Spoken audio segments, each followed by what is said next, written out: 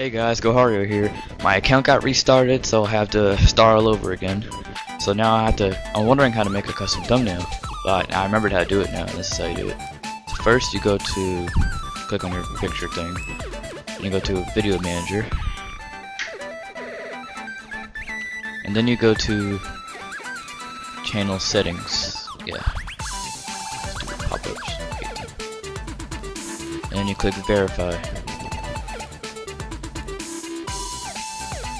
And I recommend using the text because the call, I haven't done that before. The text is easier to me it's safe because I, I done it a long time ago. But it, it is safe. I'm going to show you how it looks when you're done.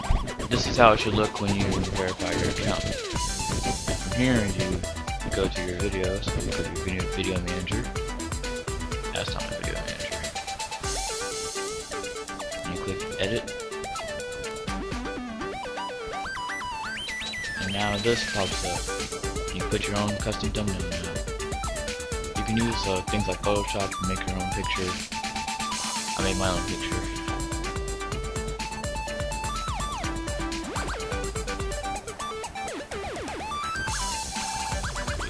There it is. Alright. You save and you're done. And that's how to get your own custom thumbnail.